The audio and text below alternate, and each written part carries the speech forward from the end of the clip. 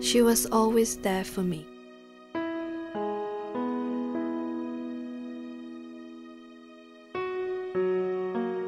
My first steps. My first failure. My first violin recital. My first puppy. My first heartbreak.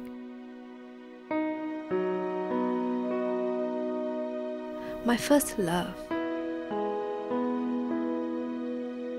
My first house.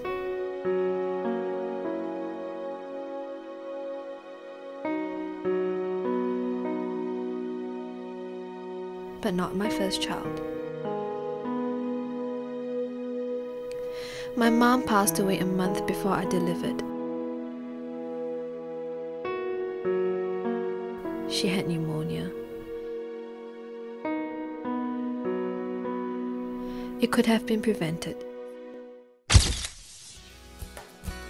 So now I protect the ones I love.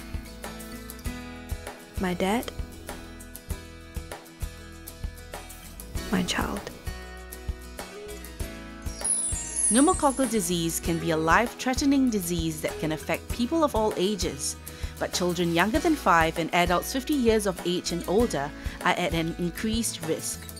Pneumococcal disease can be deadly, but it can be easily prevented with a vaccine. Protect your family today.